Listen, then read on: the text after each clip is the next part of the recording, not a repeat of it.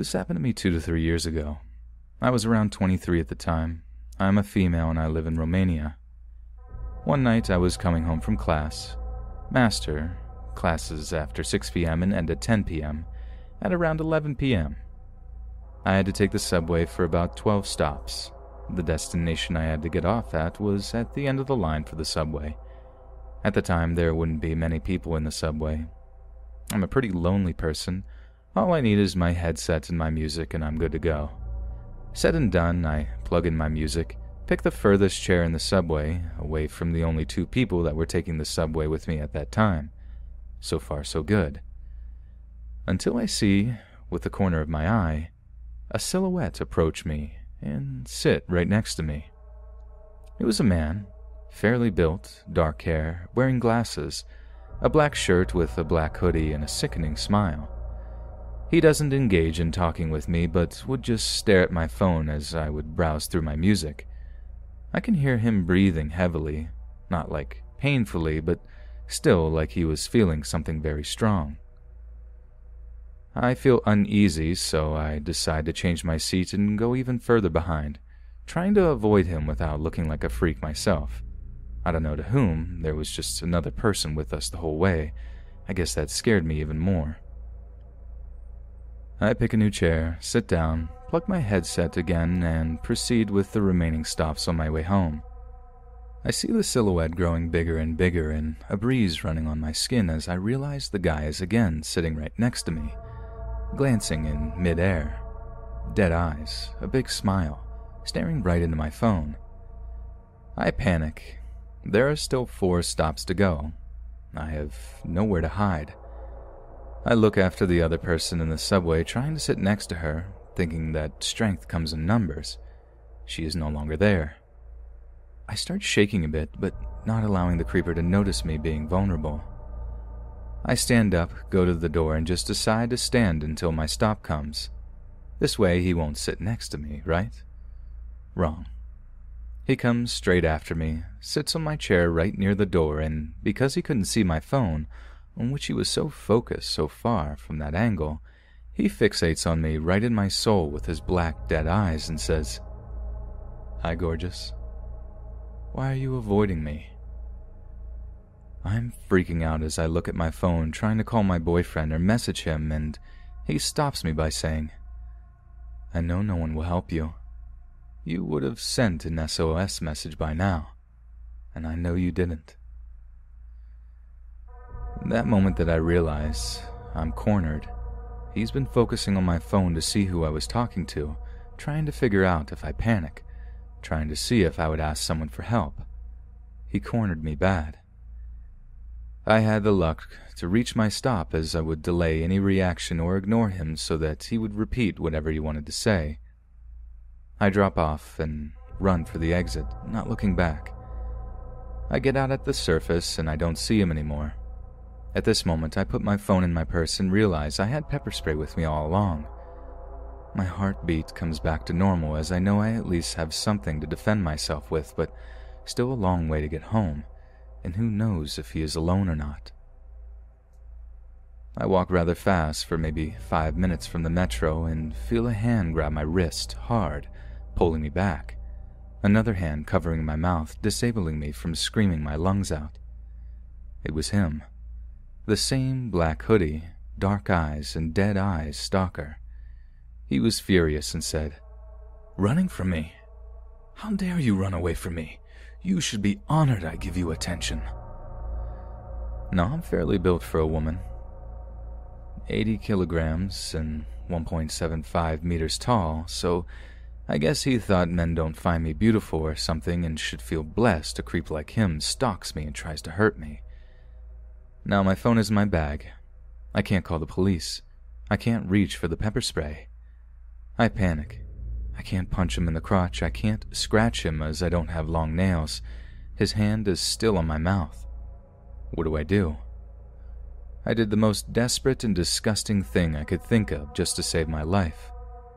I played along. I used my other hand to touch the inside of his thigh and mumble, I'm sorry, while his hand was on my mouth. He took his hand off my mouth and I repeated that I'm sorry. I didn't realize he was just flirting. He left his guard down and took his hand off my wrist. He asked me for my phone number and address to drop me off, but I refused, saying I'd rather add him on Facebook, and he agreed. I told him I'd reach for my phone, but instead picked up the pepper spray and got him sprayed all over his face. Made sure I'd cover both eyes, nose, mouth, even his ears and hands. He was instantly all red, suffocating from the pepper and swelling. I called the police, told them what happened and what I did. They asked me if he is immobilized, and I said yes, as the effect wears off in 45 minutes. The police arrived there five minutes later to see me shaking like a leaf and a man on the ground, swollen like a pumpkin, throwing up and swearing at me between gasps of breath. He was arrested, and the police told me they had been looking for him for the past week as they discovered the body of a 24 year old woman in his apartment, a fairly built lady, 1.77 meters tall, 75 kilograms, red hair. I have red hair too. The woman was his girlfriend, and ever since, he's never gotten back to the apartment.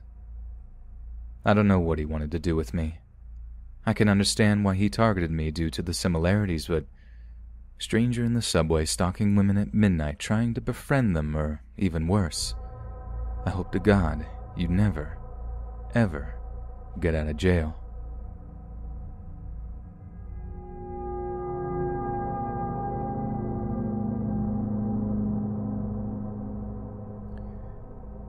This story happened when I was 12 years old. I'm a female and 25. The story I'm about to tell you might not be as scary to most, but for me and my parents, it was. I remember it was a Saturday night around 9 or 10 p.m. during the summertime. I owned one dog at the time. His name was Benny. My parents decided that night that they feel like going for a walk around the block, walking Benny, and asked me whether I wanted to join them. I said no because I wanted to play PWI on my PC, Perfect World International. My parents were okay with leaving me alone since the walk wouldn't take longer than 30 minutes tops. As my parents would get dressed to leave the house, I logged in PWI and looked around in my guild and global chat to see if anyone was on. For some reason, no one was, so I decided to join my parents. I get dressed, I put Benny on his leash, and we all leave. I'd like to mention that I lived in an apartment building that had 10 floors and we lived on the very first floor.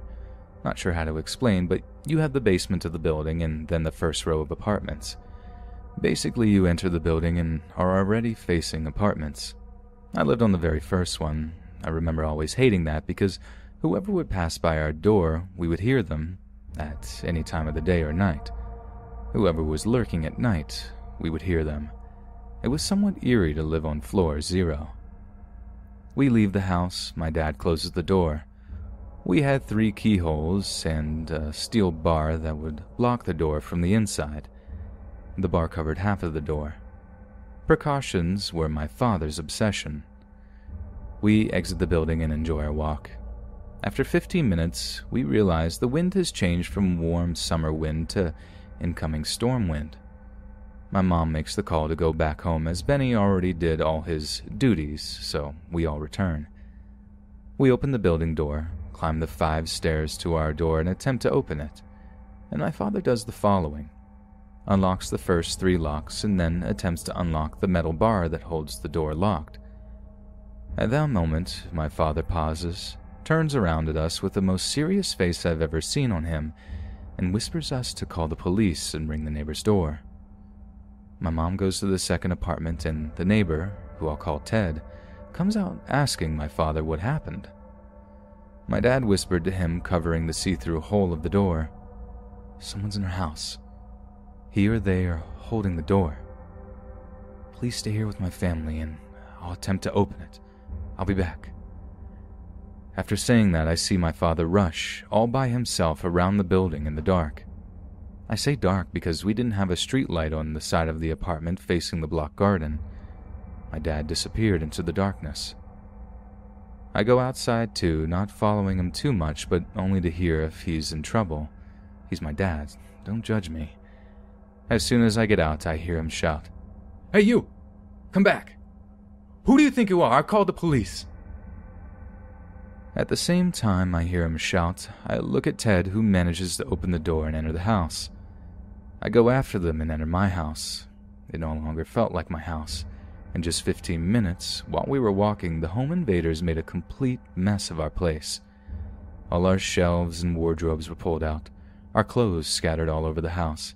Benny's dry food was all over the floor, indicating they must have tripped in his bowl, probably not knowing we owned a dog. But what scared me most was how organized they were.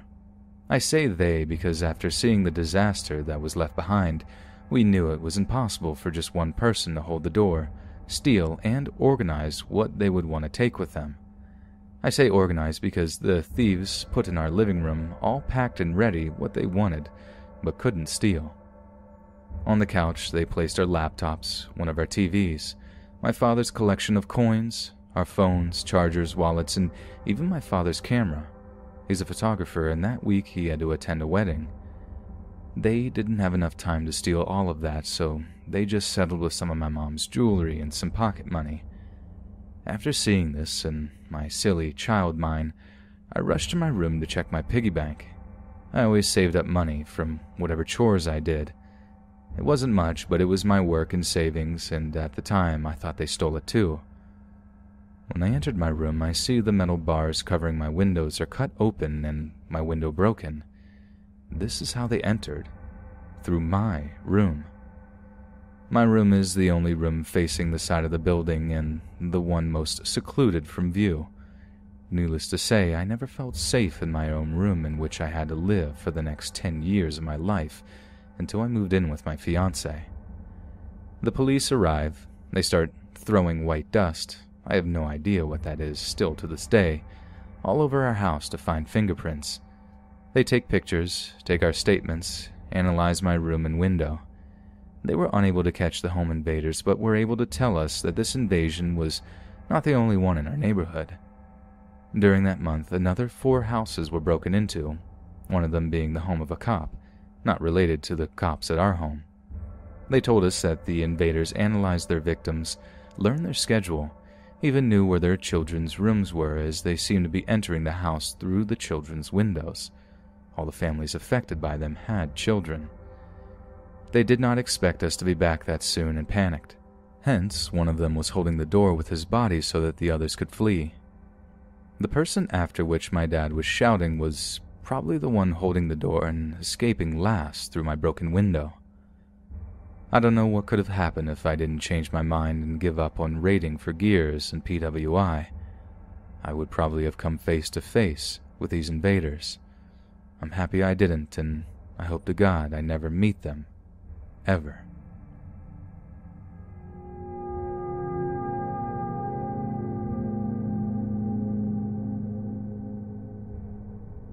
My uncle is considered to be an explorer in my family. He loves to travel, so much that he'll venture to the strangest or most dangerous countries in order to fulfill his very long bucket list. So in 1991, after the Soviet Union fell and travel restrictions began to dissolve, he jumped at the chance to go. He used all of the money he'd been saving, as well as some sophomore year college funds, to be able to buy the plane ticket, despite the disapproval of his mother. Knowing she couldn't stop him from going, she bought him a special pouch which was able to hold his passport, money, and other important documentation. The reason she liked this pouch so much is because it was supposed to be placed under the clothing, specifically below belt area of the individual's jeans. This made it so the person could hide important items to deter pickpocketing or overall theft. He disliked the pouch, insisting he would use his small backpack with an assortment of travel items, saying it would be much better than a hidden pouch. So, after much arguing, he hesitantly took the pouch with him. This becomes important later in the story. When he arrived at the Domodedovo Moscow airport, he noticed he was attracting some very disgruntled, mean glares from some of the people around him. He also noticed that any time an official would check his passport, they would always look at him like he was crazy for visiting. After going through various customs and random checks, he finally was released into the city, making sure to store his passport in the pouch he so reluctantly took. After exploring Moscow for the rest of the day, he finally made it to the small, dainty looking hotel, describing it as if there were strong winds, this place could have easily fallen over. After checking in, he decided he wanted the savory taste of Russian vodka, so he sat at the small hotel bar, asking for a drink in very bad Russian.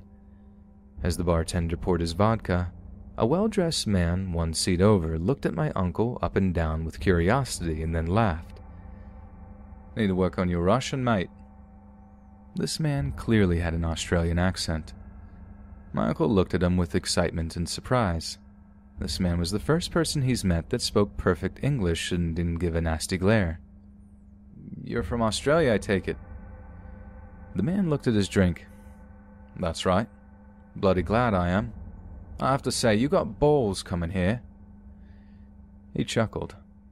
They don't like Americans very much. My uncle, of course, knew this. Russians and Americans did not get along quite well, especially after the Soviet Union fell, but that didn't stop my uncle from traveling to Russia.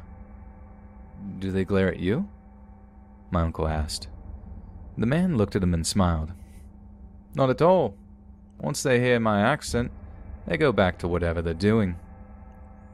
The man picked up his drink, swirling it a little, then asked, I'm assuming you've heard a Canadian accent before.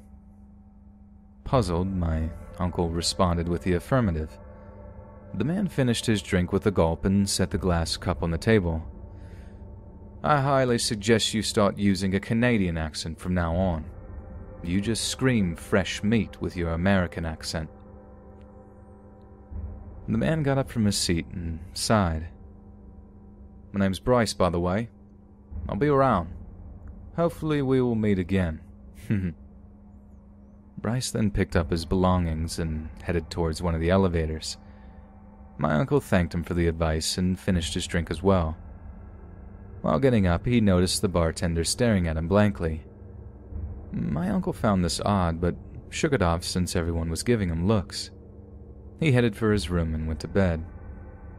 When he woke up, the first thing he noticed was the window to his room was cracked. So cracked that if he put a little pressure on the glass, it would have shattered. This freaked him out, enough to take all of his stuff with him for the day, leaving nothing behind. My uncle finally ventured out for the day and wanted to visit a museum nearby. One of the hotel staff suggested for him to take a shortcut through an alleyway instead of walking the main city streets, since it takes less time. While walking, he heard footsteps behind him, but it didn't sound like it was just one person walking. It sounded like multiple. My uncle decided to discreetly look behind him as he didn't want to be rude as a foreigner. He saw four men walking behind him, keeping a short distance. Three of the men were much bigger than him, but one of them was much smaller and looked familiar. The largest man was bald, the other large man was obtuse, the third largest wore a bright red hat, and the smallest, well, the only distinguishing feature was that he was small. Dien, one of them yelled at him in a very deep, slurred voice. This startled my uncle, as the voice sounded so hostile. However, he didn't understand what it meant, so he continued to walk, speeding up his pace. The man continued to scream this in a hostile manner, very slurred and sometimes incomprehensible. My uncle realized that this man was most likely drunk, and if he was drunk, the probability of all four of them being drunk was also very high. When making this conclusion, my uncle decided he needed to get out of that alleyway immediately, as he did not want to speak with a group of large drunk men. Before he could look back again to see how far behind they were, he felt a strong, painful grip on his shoulder, and before he knew it, he was thrown against the wall. Disoriented from the impact, he attempted to get back on his feet quickly in order to try to escape the situation. The largest man grabbed his shirt collar and lifted him up, pinning him on the wall. This man looked very angry and stunk of alcohol, similar to the other three men that surrounded him, the smaller one holding a large bottle of booze. When he looked at the smaller one, that's when it hit him. It was the bartender from last night. The one gripping his shirt collar moved closer to his face and slurred, Look at me when I'm talking to you. Terrified, my uncle stared at him. The obtuse man looked my uncle up and down an inch closer. He smelled like burnt cigarettes mixed with a strong alcohol odor. I like your backpack, comrade, the man garbled. Where did you get it? Great, my uncle thought. I'm going to be robbed. The largest man tightened his grip and pushed him harder into the wall and screamed, Answer him when he's talking to you. In the best Canadian accent my uncle could conjure up, he stammered, Oh, this, uh, oh, uh, I got it as a gift, uh, from my mom. He was shaking at this point. He was so scared. Canadian, are you? The man with the bright red hat asked. He leaned forward and sniffed my uncle. I'm surprised you don't smell like maple. All of them laughed at the joke. My uncle stayed silent, proceeding to look at the bartender for help. The bartender, who seemed to be the most drunk out of everyone, pointed at him and shouted, I don't believe you. You're an American, aren't you? I know it, you liar. I heard you before. You're not a Canadian. I know you're American, you freaking liar. No, no. The obtuse slurred, looking at the bartender. His passport. Look at his passport. Then he looked at my uncle's backpack. The larger man holding him pulled him forward with tight grip. While doing so, the obtuse man ripped the backpack off my uncle's shoulders. Afterward, the large man threw him against the wall, harder than the first time. My uncle's head was throbbing at this point. The men started to angrily search his bag, throwing his clothes and other necessities on the wet, icy concrete, ruining most of my uncle's belongings. Where is it? The man with the red hat roared. The passport! Where's the passport? My uncle continued to speak with a Canadian accent. Oh, uh, it's, uh, it, it should be in there, I swear. The bartender broke the bottle of alcohol on the wall, spraying the liquid everywhere. He held the sharp, broken end of the bottle close to my uncle, saying, Say you're an American. Say it. I know you're lying. Say it. My uncle just stared at the sharp edges of the bottle. What was he supposed to say? He stood there, frozen in fear. Before the bartender could scream any more absurdities, all of them heard someone scream, Oi! The five of them, including my uncle, turned towards the owner of the voice. It was Bryce. The largest man stood up tall, clearly towering over Bryce. You don't know who you're messing with, comrade. Bryce laughed. All of them, except the largest man, stared at him with awe. Even my uncle was dumbfounded. Who would laugh at someone clearly more threatening? Bryce looked at the large man and said, You're right, mate. I don't. He pulled his coat back, revealing a gun. The larger man put his hands up and started to back up, the others following their leaders. Yeah, you might find it in your best interest to leave. The four men just stood there frozen, all keeping their sights fixed on the gun. Bryce's facial expression changed as he looked at all four of them with a stone cold expression. Now. All of them pivoted and quickly sped walked away, the obtuse one still carrying the backpack. Once they were out of sight, Bryce quickly ran over to my uncle and proceeded to pick up all of the items and put them in a pile. He then held out his hand and lifted my uncle from the alcohol stained wall. So tell me, Bryce met my uncle's surprised stare. Really, where's your passport? My uncle shakily took out the small travel pouch his mother bought him, unzipped, and showed a small corner of his American passport. Ah, Bryce smiled and began to laugh. That thing may have just saved your life.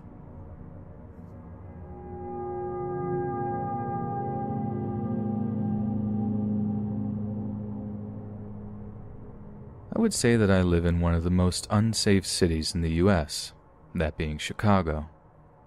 Although the south side where I live has a lot of crime, I live in a community that consists of a lot of police officers and firemen, so I have the luxury of not being constantly concerned for my safety. From time to time, people wander in from the surrounding less safe neighborhoods to rob or rough up some kids, but it is far and few between. For reference, I live in a really small house that I rent. I'm a 21 year old female. Along with my two younger sisters and my mom, live here alone. Occasionally, I will have my boyfriend over, but it is rare that men enter our house, and we have a dog. Around April, my mom tells me that her and my sister saw a man walking up and down the block with a black hood up, and I should be on the lookout. My mom grew up in one of the bad neighborhoods of Chicago, and as a result, she is often paranoid about dumb stuff, so I just ignored it. The next day, I pull up to the front of my house and I see a man in a black hood standing next to my neighbor's garbage cans. I can't see his face, but he has a bigger build and around an average height. He had a bag with him, and you can tell he was just trying to seem normal. As soon as I saw him, I got a huge sinking feeling in my stomach and I felt nervous. Luckily, my boyfriend was with me and he started to briskly walk away as we were exiting the car. I tell my mom and she gets more freaked out. In this rush to leave, this man left the bag that he had with him. As I look inside, I could see a bunch of snacks, some half eaten and some unopened. This creeped me out. What was this guy doing? Eating snacks and watching my family? Fast forward a couple of hours and it's dark now. My mom is thoroughly paranoid, so she keeps looking out the window to make sure that this guy isn't creeping around anymore. At about 8, I hear her scream for my boyfriend and I to look out the window. We come running over and look out to see the black hood guy across the street staring directly at our house.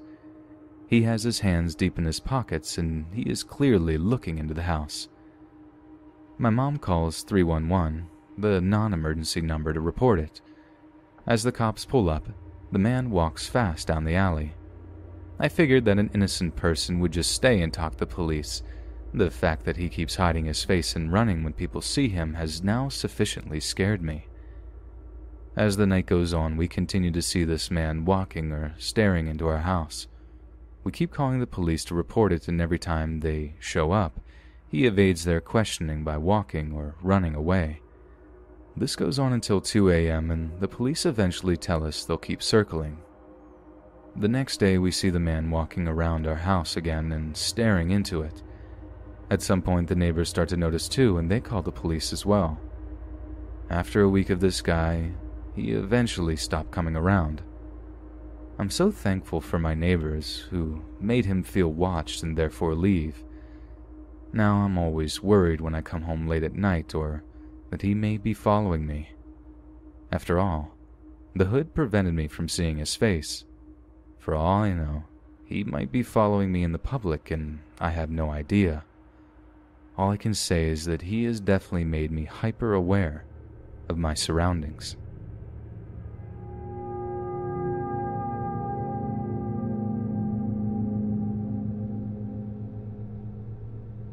I am Indian and I have been living in the capital city of Delhi for 12 years. In 2014, I had joined the University of Delhi. I was very happy and excited as I really wanted to join the university for a long time. When I had started my college there, there was this senior in my department who had started talking to me.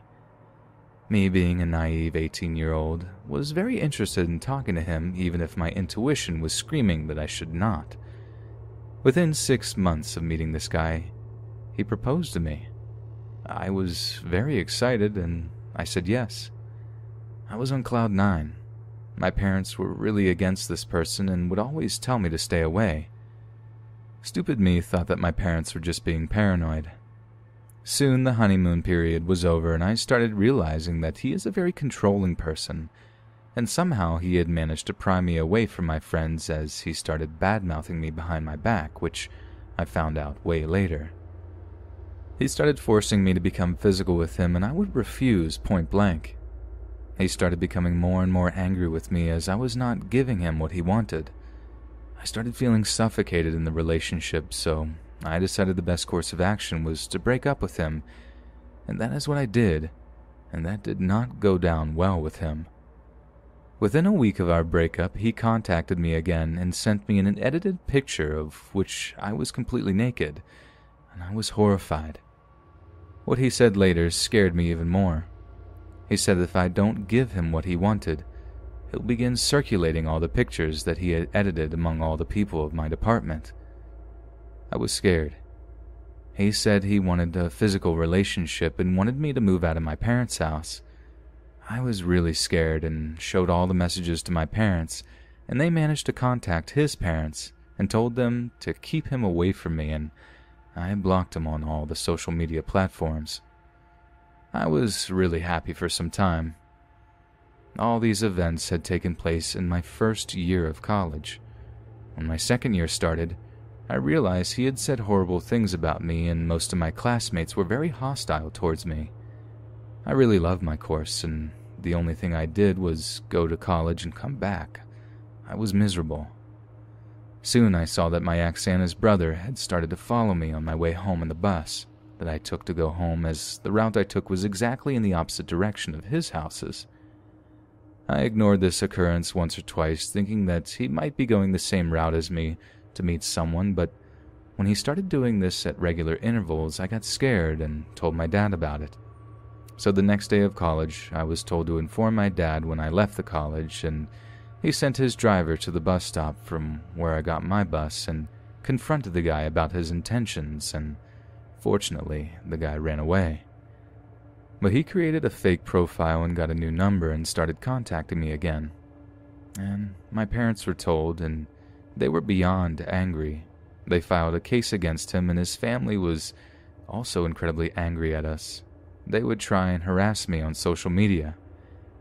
Because of all the proof I had, he got a restraining order and had to sign an affidavit that he or any of his family members could not contact me directly or indirectly, and that he would delete all the photos and could not talk about me, be it positive or negative. This incident affected me so badly that I had to be hospitalized for two months and had to take antidepressants and mood stabilizers for over a year.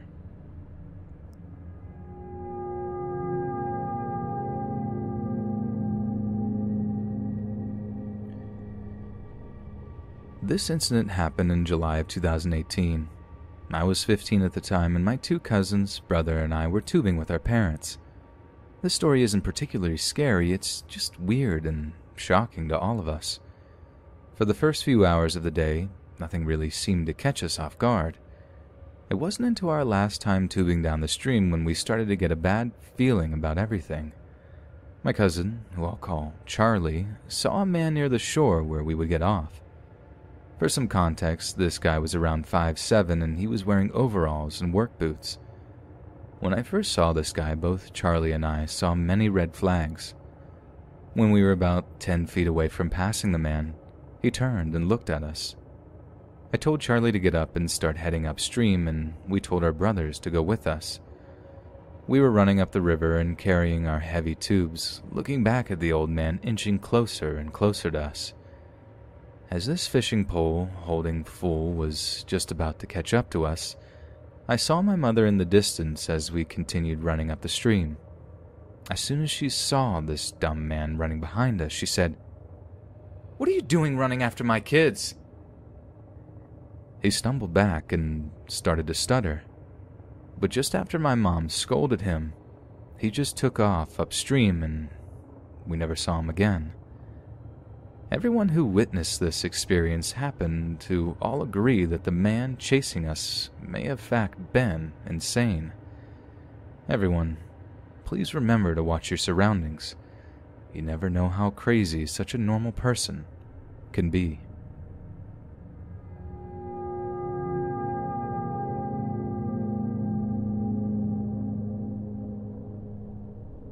I'm a 16 year old female and I'm new to Reddit as I only got it about five minutes before writing this.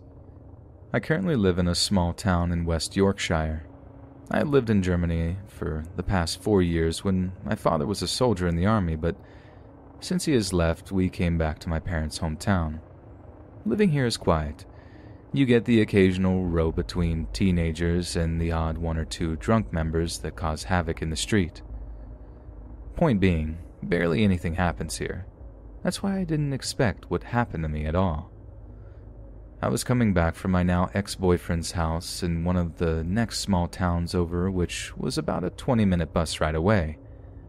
Since there was no buses back from his town, I had to get one all the way back to the bigger town over just to make it back on a different bus to my own hometown. Once I had made it back to my town, I had missed the last bus back to my house and had to settle for a taxi. This wasn't a problem as the taxi base was located right next to the bus station. After making my way to the taxi base, I was informed that I would have to wait at least 10 minutes for a taxi as they were busy. As I waited on the sofa they had in the building, I tried distracting myself by listening to my music, but overheard a man screaming loudly on the phone. I assumed he was drunk and waited patiently for the woman to end the phone call. I asked her, What was that all about? And she gave me an exhausted look and said, It's this guy wanting a taxi home, but he's really angry and very drunk and waiting at the chippy down the road. I didn't know how to respond, so I asked who it was, as we are a tight community and everybody knows everybody. She tells me it's this man, who I'm going to refer to as Harry. I knew of Harry as he was a well known troublemaker in the area, and I told her this. I also told her that he lived across the street from my house. The woman realized this and asked me if I don't mind sharing a taxi with him. At first, I was hesitant, but if it would get me home faster, then sure. I know this was a stupid mistake, as I realize now. Harry, instead of waiting at the chippy, decides to come to the taxi base and right on time when the taxi pulls up. I jump in the back wanting to go home after a long day, and he climbs in the front in his drunken state. I thought to myself, here we go. As I stuck my earphones in to distract myself, I am yet again disrupted by Harry screaming down the phone. He is shouting at what seems to be his girlfriend, who was also waiting outside the taxi base for him in a gray Mini. As he is swearing and screaming, I look behind us and notice that the gray Mini is tailgating the taxi. At this point, I start to worry and get nervous as I had no clue of the situation at hand or how to deal with it as I was no part of the incident that they had started for themselves. As we pull up to the shop outside my house, I pay for the taxi. Yeah, I know, so gentlemanly of me to pay, right? He steps out of the taxi and crosses the road. At this point, who I assume to be his girlfriend or ex girlfriend steps out of the Mini. She shouts Harry's name in a very aggressive and angry tone. As I'm crossing the road to go to my house, she targets me. I, frozen in fear by this clearly drugged up or drunk woman screaming at me, slowly back up towards my house. I am nowhere near the front door and end up getting cornered between the front of my house and a sign that is used for the shop. This clearly insane woman, we'll call her Claire, comes running at me from the Mini that had been screeched to a halt on the white lines in the middle of the road, afterwards screaming, Who are you? She comes across to me, belting it down the street. All I can think of doing is protecting myself and my belongings. On me, I had a bag, my phone in my hand, at least 10 pounds in cash, and some makeup in my bag. While trying to protect my items and myself, she is coming at me and beating me in the back of the head and smashing my skull up against the wall of my house. I announced to this clearly crazy woman that I did not know Harry and that I was 16 years old. She heard me and carried on. And this is when it gets scary. She starts hitting me so hard on the back of the head that my vision goes black. I start praying that someone will help me and stop this from happening. All the while, she has my hair gripped she swings her fists around into my face and is repeatedly hitting me in the eyes and nose. While I'm trying to protect my head with both my hands at this point, she again smashes my head against the wall, making me instantly go dizzy. Massive chunks of flesh are ripped out of my fingers and my knuckles on both hands. I was pouring blood. All my belongings fall out of my bag, which she notices. She bends down to claim some of my property as hers. This is when I fight back. I grab her by the hair and decide to get her back. I had just been brutally beaten and scared and shocked. This woman deserves something back. As Claire bent down, I grabbed her by the hair hard enough to make all my acrylic nails pop off, ripping off my real nails along with them and dig into the flesh on the palm of my hand. I give her one pull backwards and two punches to the back of the skull. I shout, Give me my stuff back! And she then claims that she was picking up her glasses that she didn't have. All this time, Harry and the guy driving the Mini did nothing to help. The taxi driver just sits there watching everything go down. Later on, I found out that Harry was recording this whole incident on his phone.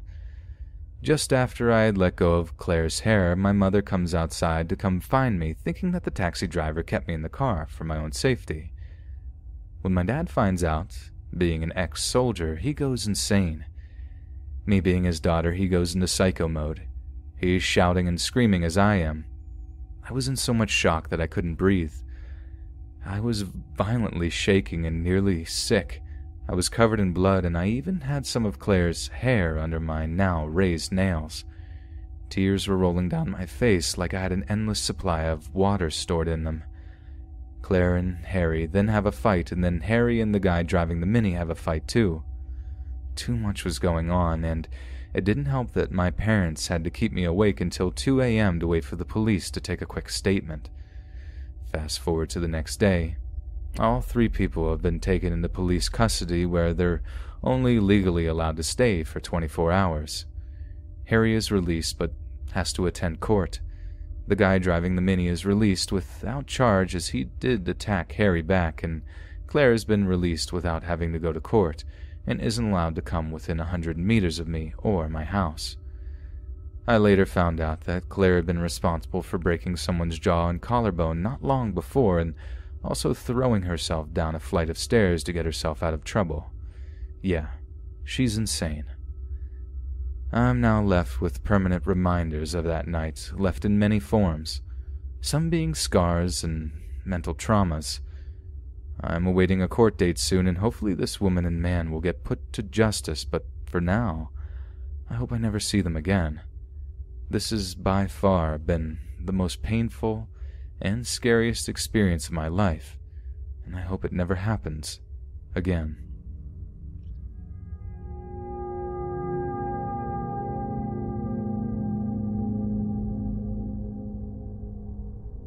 I live in the UK, and when I was younger, my dad moved into this rented house, which was kind of like a manor house that has been added on over the years the oldest being from about the Tudor period, and the bit that we were in was Victorian. I remember the first time I looked around it. It was absolutely huge, but it gave me a downright creepy vibe, but I just brushed it off as a new house I wasn't familiar with. Now, it's important to point out that I'm a strong believer in the paranormal. I'm kind of fascinated by it. The house was a very strange layout as the bathrooms had been added on at a later date, so they were on a different level. Being upstairs, there was a small set of stairs going into the bathroom. This upstairs bathroom would always, for some reason, just give me the complete creeps. I don't know why, but I always avoided it. It's also important to point out that I would stay with my dad on the weekends and stay with my mom during the week. Now that's over, I can tell you what happened over the three years I was living there. As I said, this place gave me weird vibes, but I just brushed it off as a new place. For the first, I want to say, year, everything was okay. I was getting used to the weird noises the house would make in the middle of the night that at first would scare the life out of me, but you get used to those things eventually. Around this time, I started getting even more creepy vibes from the place, and I was never feeling comfortable there when I would visit. I would have random panic attacks all the time with no explanation and no trigger. At the time, my dad just brushed it off as me being in my early teens and dealing with all that fun teenager stuff. The creepiness of the place was getting worse, and then the dreams started.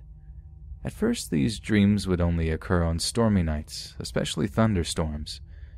The dreams would normally consist of time travel and normally going to hell, underworlds, and alternate universes, and you would always get woken up with the roar of the thunder.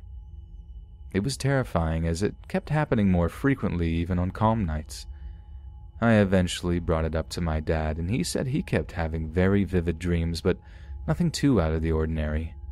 I thought this was weird as I heard before that spirits can work their way into dreams. This freaked me out, but that was nothing. In my room above the fireplace, there was these metal vents that would clatter in the wind, which is perfectly normal and never bothered me, until they started moving when there was no breeze at all, when it was completely still outside. This was very creepy, but I just thought it was my imagination being overactive. For a good year, this would keep happening and nothing else. I didn't like it, but I could live with it until it got worse. One weekend, I brought my cat to my dad's when my mom went on holiday.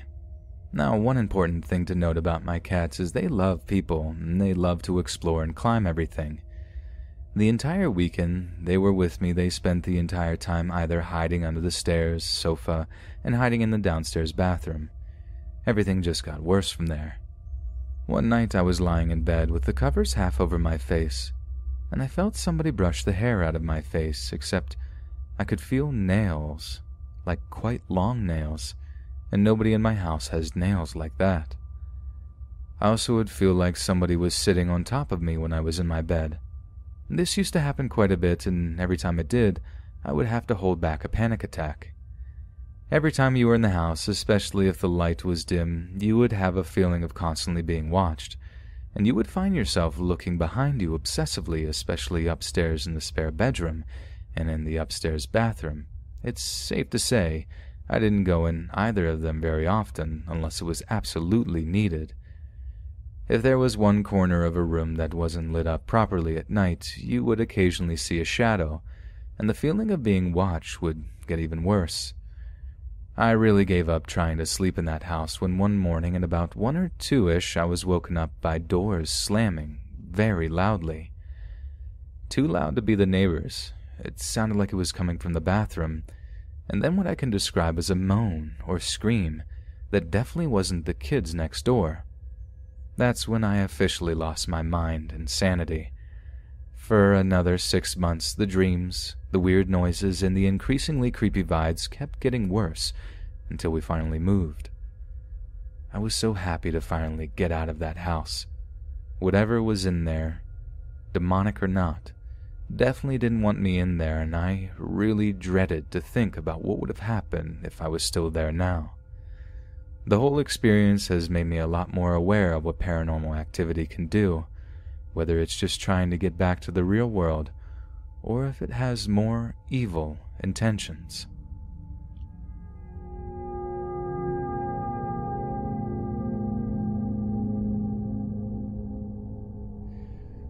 I was a college student at the time and I needed some place to live since my parents were in a different city.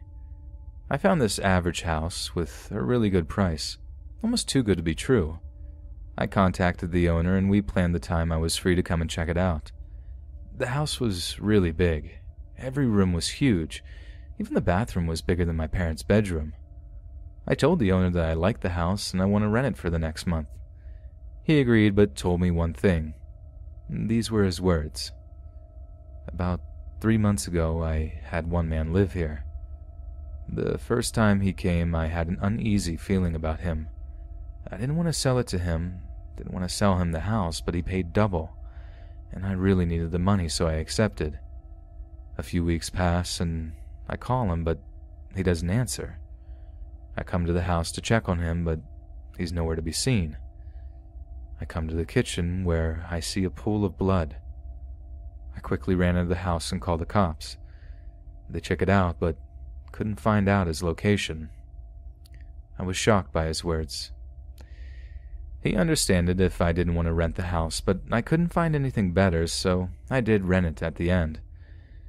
Many months later, I was expecting a delivery. I ordered a new big TV because the old one the house had was really bad. After I unpacked everything, I didn't have the storage to put the boxes. The idea popped in my head that the house maybe had a basement. I looked everywhere, but in the end, I called the owner and asked him. He told me that the only storage was the old shack in the backyard. I knew about that, but the shack was full. Later that day, I was in my bedroom, laying on my bed, going through my gallery pictures, when suddenly I see something on the ceiling. At first, I thought it was a vent, but When I brought a chair and looked closer, I saw that it was an attic. I opened it and it was pitch black, so I used the light on my phone to see. I climbed in, and after a short time of searching, I saw a light switch. When I switched it, the light turned on. The light was very bad. It barely lit up half the attic. I was beginning to climb back down when a black trash bag caught my eye. I went to the bag with my phone and tried to pick it up. It was unusually heavy for a trash bag. I gave up on the idea of picking up and decided to open it. The moment I opened it, the smell of rotten flesh and every single thing you can possibly imagine being rotten hit me in the face. I shone my light to see the bag and see a woman, a dead woman starting to decompose. I jumped back so much that I fell through the vent opening on my back. I ran out of the house and called the cops. They began their investigation and asked me questions about the house. I called the owner, and in a matter of minutes he arrived. When the police questioned me, he told them the same story about the man he told me. Turns out that he didn't even know the house had an attic. Him and the police suspected it was the victim of the same man, but lack of evidence restricted them to go any further. The owner of the house apologized to me for everything, but I just couldn't bring myself to staying in a house that someone had died in. One week later, I moved out to another apartment with my roommates, and I was living there the rest of my college years. They never caught the man, and they were unable to identify the woman.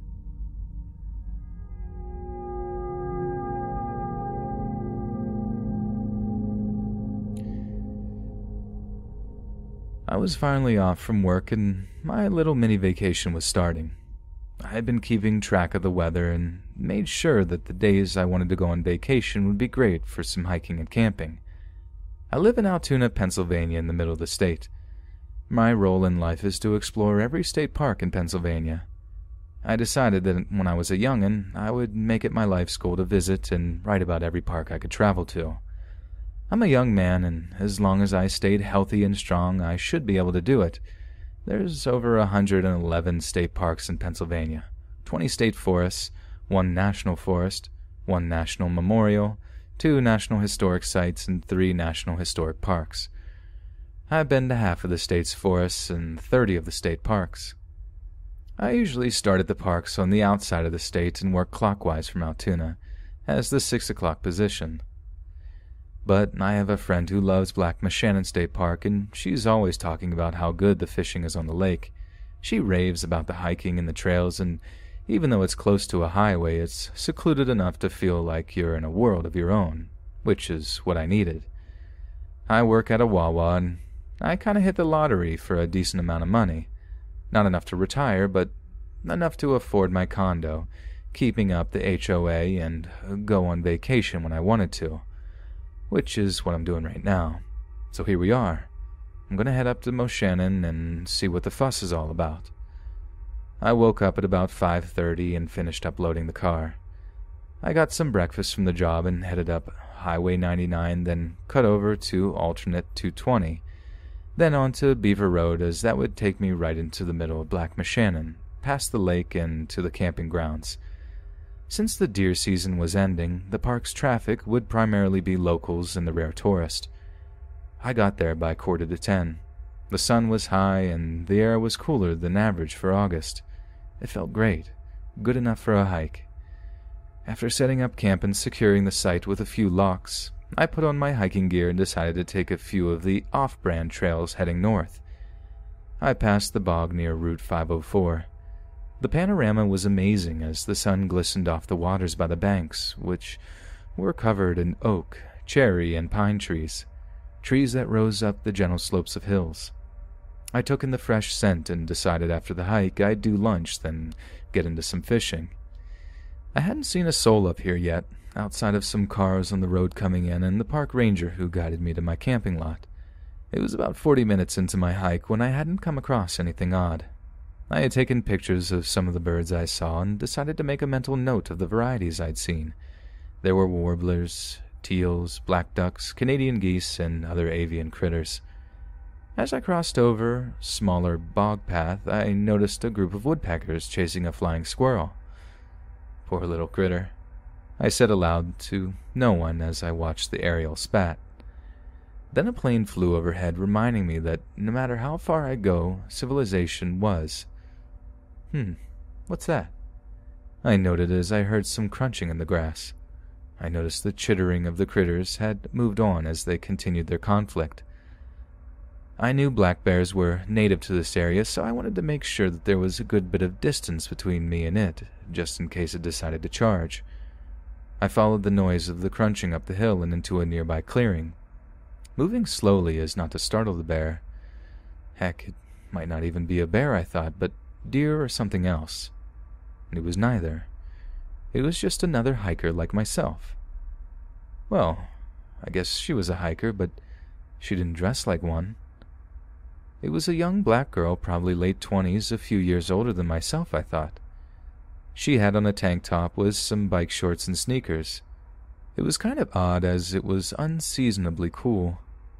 It was probably around 50 degrees or so, maybe a little warmer in the sunlight. She was carrying only one of those small backpack purses.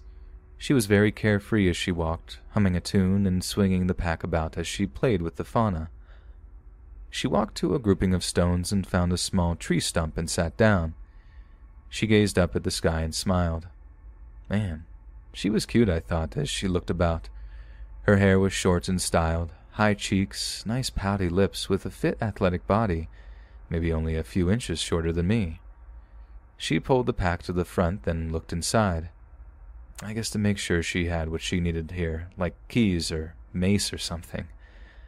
I thought it would be courteous to at least let her know I was out here so as not to startle her. But just as I decided not to come across as a creeper looking at a chick in the woods, I felt the air temperature just drop. I shook for a quick moment as a chill went down my spine. Ooh! I said aloud, but not loud enough for her to hear me as I shivered.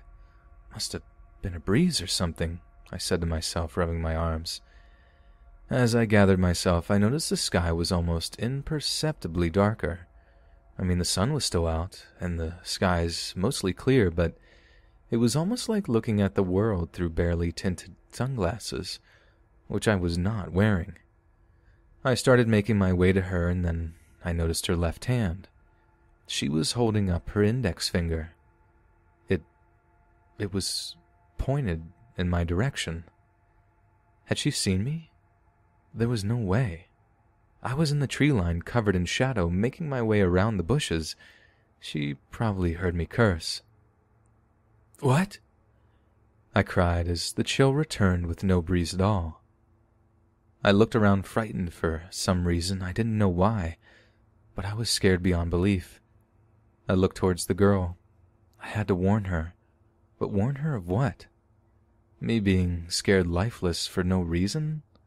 Then I noticed her finger still up, but pointing directly at me, then wagging at me, like, don't come here, stay put, stay where I was.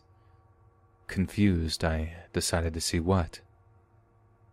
Oh my God, I whispered to myself as I looked at her. Behind her, what was that?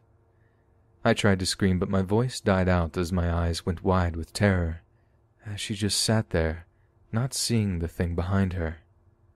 I tried to run, but like my voice, my legs didn't want to work. I could only watch in horror as the creature slithered much like a snake as it approached her.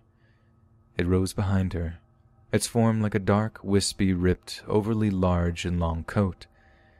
It was a cloak of floating darkness, the bottom and arms were just like shredded bed sheets draped over a corpse, as the only true feature on it was the bony deer-like antlers on its hooded and skeletal face. Moss, grass, and other detritus dangled loosely from its antlers. The skeletal face was human, but overly large, and its mouth a gaping pit of darkness, as was its eyeless pits. A crack ran from its temple into the darkness of the hood. It reached for the girl as the pack dangled from her shoulder. No, it reached for the backpack. The shredded, handless hem of where its arm should be gingerly reached for it. I wet myself as I knew that thing would kill her and she'd never even know it.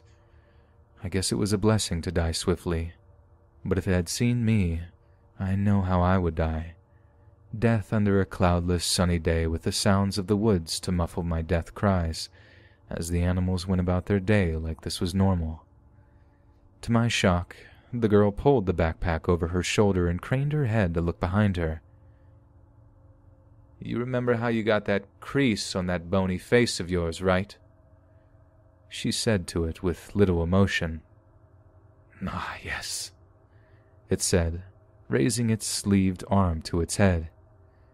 You, Abigail Mitchell of Philadelphia, assaulted me without provocation. I remember. You did try to suck the life from me, if I remember correctly. She said back to the thing as if they had some rivalry or something. Did you get the items per my request? The creature said as it floated to the front to face her as it towered over the sitting woman.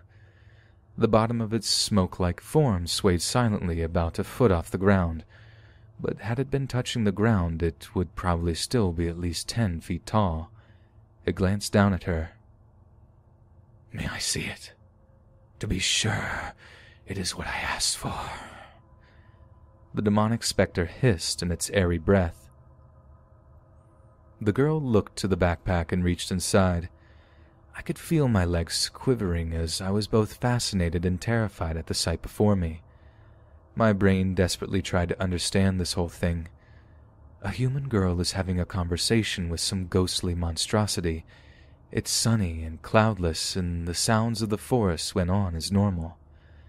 I think I even heard another plane overhead as my nose took in the smell of my urine, and my weak knees marinated in the stuff, too shaken to do anything else.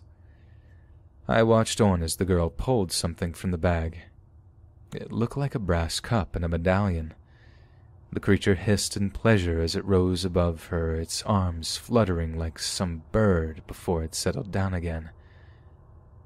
This is what you mean, the girl said, dangling the medallion and holding the brass cup before it. The creature shrunk towards the ground in an almost kneeling position. As it did so, the front of its ethereal body began to grow in a small circular pattern about the size of the medallion. Do you also have the other thing? It said excitedly, its antlered head moving forward, trying to look in the pack. She pulled it back and told it too. Take it easy, she told it, annoyed at the thing's eagerness. How long has it been? She asked it as she pulled forth another cup and a small bottle or something. The creature rose up and back as the light in the medallion dimmed some. It looked as if it was in contemplation. What human year is this now? It asked. 2019 of the Common Era, she told it. 374 of your years since I lost that. It growled, pointing to the medallion in the brass cup. Name your fee and let's be on with it. It stated, the eagerness overriding its common sense, as its formless body shuddered in anticipation. I told you my fee when you made the request. That crack on the head knocked away some of your memory? She asked it, tapping her head. Are you serious? That was your fee? Not power or influence or money as you humans love so much. Not adoration or some silly bargain. It said to her almost incredulously. A story. A story, she stated with a wide grin on her face. A story, I said to myself. Why something so small? Why not something of significance? The creature asked her. I too was curious about this. Because my job is to collect the history of as many things I can. I'm also a sucker for a good story. Stories are significant. I know somewhere in that spectral skull of yours you've seen and done some things. Just tell me one. She said, holding up a finger. You are Very curious for a human, Abigail Mitchell of Philadelphia. It replied to her. How long have you been around? She asked the thing. Thousands of your years. Why? Tell me a story of something 800, no, 1,000 years back. She stated as she placed her elbows on her knees and cupped her face like a kid at camp around a campfire. She even had the silliest grin on her face. Who was she? What was she? How could she sit around that thing like it was normal? I hadn't realized it, but I found myself sitting also, on a dry patch of the ground, looking on intensely. I must be suffering from brain damage or something. Fear mixed with intrigue, mixed with heightened curiosity. I too waited for the story of the thing. Very well, curious one. The story I will tell you is of a really stupid boy and his equally stupid family. The creature began.